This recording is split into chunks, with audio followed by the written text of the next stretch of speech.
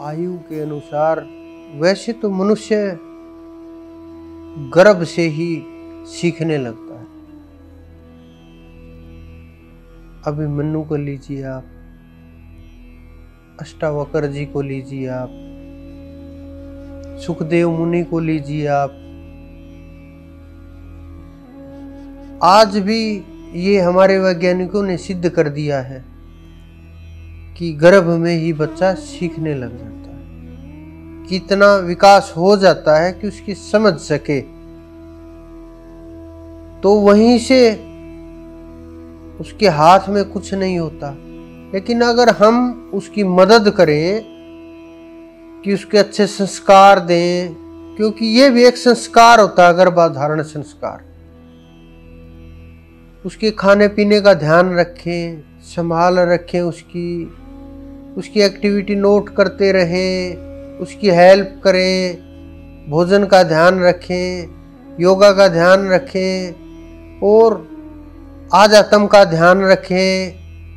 उसको गीता वगैरह का पाठ किया जाए, सात्विकता की ओर बुद्धि मुड़ेगी एनर्जी वहीं से शुरू हो जाएगी, धर्म का बीज वहीं स्थापित हो जाएगा। फिर वो होता है गर्भ से जब वो जीव बाहर आता है, उसे होश नहीं होता, कुछ पता नहीं होता।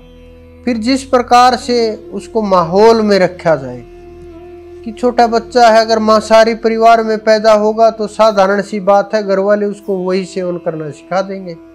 अगर शाकाहारी परिवार में उत्पन्न होगा, अच्छे संस्कारों वाले घर में उत्पन्न होगा तो वही सीख जाएगा। तो वहीं से उसको संस्कार देना प्रारंभ करो।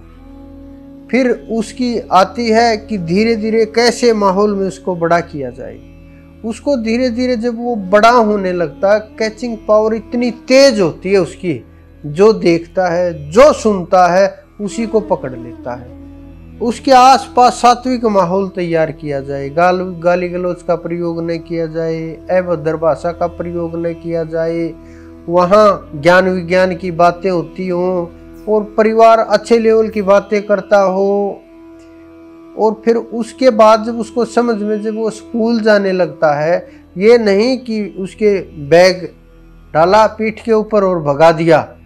नहीं, वो समझ के अनुसार वहाँ से उसकी शिक्षा पद्धति होनी चाहिए, उसकी बुद्धि के अनुसार उसके शिक्षक निर्धारित करने चाहिए, उसके ऊपर काम करना चाहिए। फिर पांचवी क्लास आती है, एक मोड होता है, ये स्टेप होता है। उसके बाद उसका चुनाव होता है जीवन का, कि जीवन की पढ़ाई कैसे चलेगी, आगे कैसे होगा, क्या करना है।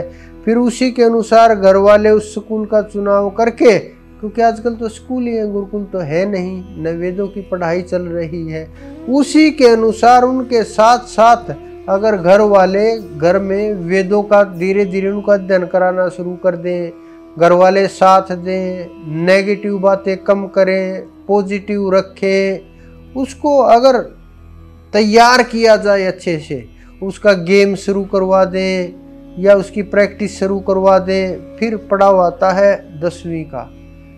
पाँच साल बाद वो आयु ऐसी होती है, बच्चे का जो माइंड होता है ना वो डेवलप लगभग हो चुका होता है और सीखने के लिए उसके पास और नई नई चीज़ें आ जाती वो वासनाओं में भटकने लगता है, उसका बुद्धि जो है, वो स्त्री और पुरुष को जान करके उनके अंदर मोह पड़ने लगता है इधर उधर ध्यान भटकने लगता है पढ़ाई से ध्यान कम होता है, दिशा उसकी बदलने लगती है तो आपको उन चीज़ों का बहुत ध्यान रखना चाहिए।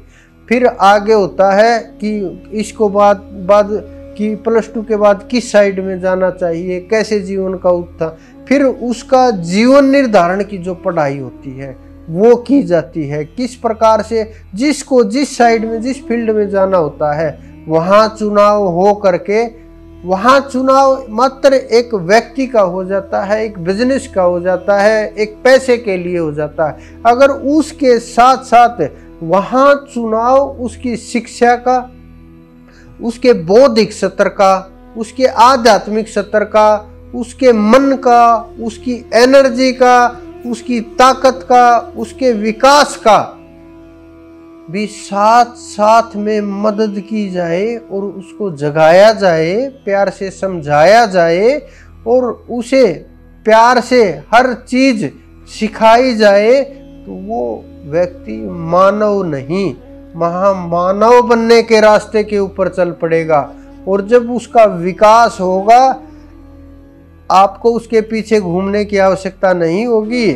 उसके पीछे तो संसार होगा, क्योंकि वो मानव नहीं, महामानव बन चुका है। और जो महामानव बन चुका है, वो संसार के लिए प्रेरणा बन जाता है।